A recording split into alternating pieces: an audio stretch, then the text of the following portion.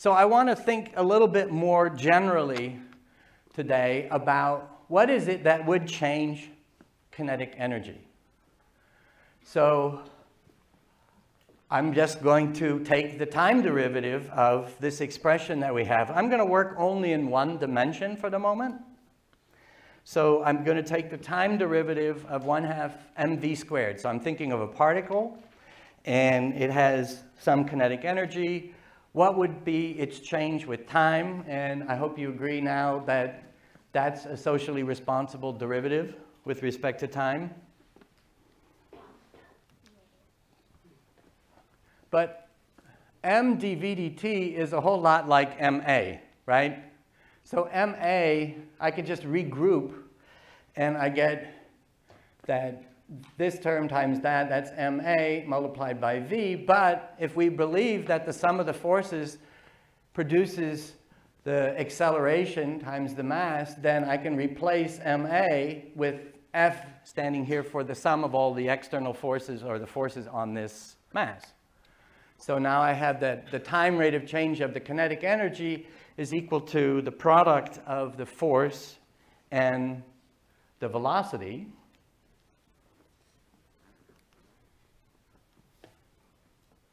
So I just multiply both sides by a little infinitesimal time interval, and then how can I simplify the left? Can I? Yeah, it's just dk, right? The little bit of change in that little in interval of time, dt, would be dk. And what about the right? That's trickier. What would I get on the right? dx, right? Because v is dx dt, so dx dt times dt should be dx. And so the change in kinetic energy is caused by moving a force through a displacement. So if I think about this situation, gravity going down, the force of gravity is in the same direction as uh, the speed that would be developed. And sure enough, we expect that the kinetic energy of this object as it's falling will increase. That seems to make sense. On the other hand, on the other hand, how many other hands do you have? All right, so six. Okay. If I consider a the same particle and now it's orbiting, so that the velocity and the force are not parallel to one another, then what do we expect to happen for this particle as it goes around? It's just going to go around at constant speed. So no change in the kinetic energy for a circular orbit. So it can't just be, I only worry about the force and the velocity. The direction is crucial. If the direction is perpendicular, then no change. If the direction is parallel, then I get a change. So I think we have to bite the bullet and move into 3D. Got your glasses? Yeah, yeah, I'll bet you do, Ian. okay, so let's do the same thing. I have to now write out the kinetic energy as the sum of the components squared of the velocity in uh, three orthogonal directions, x, y, and z. But the, the chain rule and the power law work just the same. So I hope you'll agree that on the right-hand side, we have uh, a socially responsible derivative of the kinetic energy term by term. On the left is just the time change in the kinetic energy, and on the right, if I rearrange and just put the order of the terms slightly differently, I have ma sub x times v sub x, may v sub y, and so on. And using the same trick, that is the force components in the Cartesian directions multiplied by the corresponding velocity components, how would you rewrite this thing based on your extensive knowledge of linear algebra?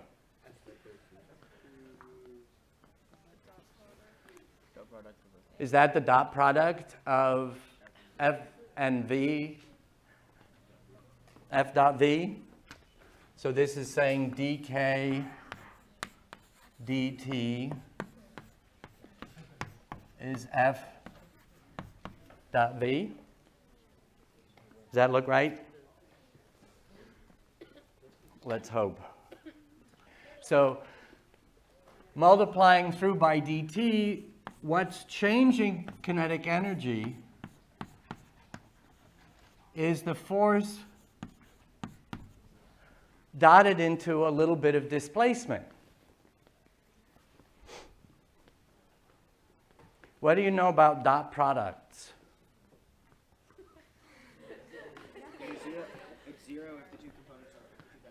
Right, so I'm hearing that if the two vectors are orthogonal, so if I had two vectors A and B,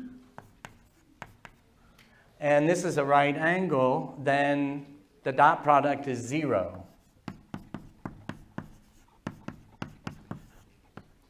But in general, is there a geometric understanding of the dot product?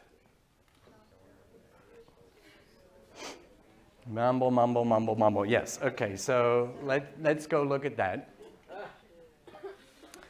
So I'm going to line up my vector A along the x-axis just for grins.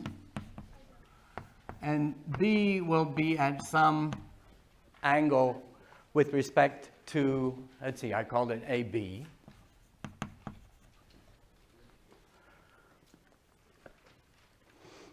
And A dot B, allegedly, is the product of the magnitudes of A and B times the cosine of the angle between.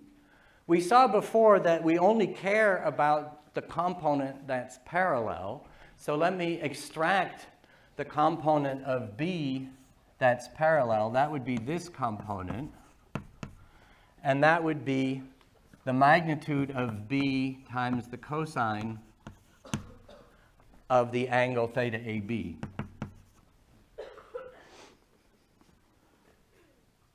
So A times B parallel, and in if I were to take a general vector A expressed in its components, a sub x, x unit vector plus a sub y, and so on, and take the dot product, if I use the fact that perpendicular vectors have a dot product of zero, the nine terms that I should get in the dot product of A dot B, right? There should be nine because I should get the first, first, second, first, third, second, first, and so on. There should be nine complete terms, but most of them are zero because the unit vectors in the three Cartesian directions are orthogonal to one another, and so all the ones that don't involve